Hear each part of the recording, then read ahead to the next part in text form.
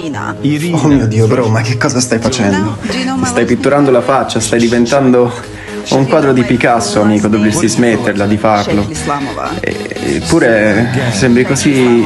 sembri così carino, ecco, tu dovresti smettere di, di riempirti la faccia. Quindi sono gay!